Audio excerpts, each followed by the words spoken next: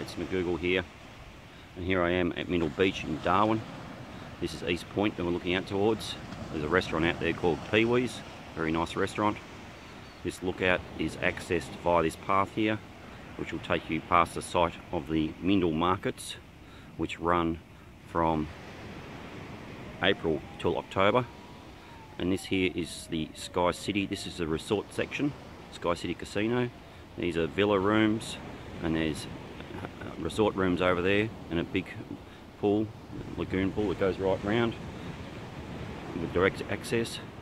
This is the old section of the accommodation and then if you're staying there there's also a pool over there but you can use both pools and then this is looking out towards Cullen Bay and out across towards the Mandorah on the other side of the harbour. So this is all um, Fanny Bay, this bit here. Fantastic spot to watch the uh, sunset.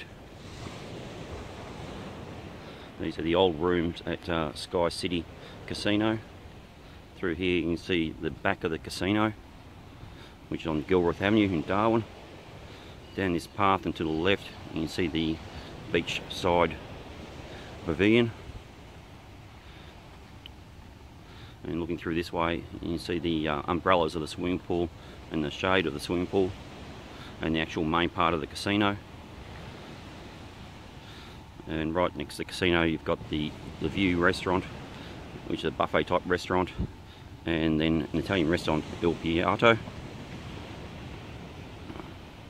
And then on the other side where this big roof sticks out is the sandbar which has um, live music and the casino features keno, table games and poker machines and TAB and a sports bar.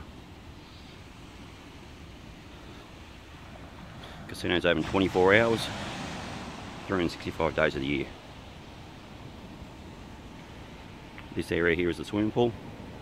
It's got the infinity edge on the swimming pool, a spa and also a um, beach section. In the other resort section back over towards the old section over here.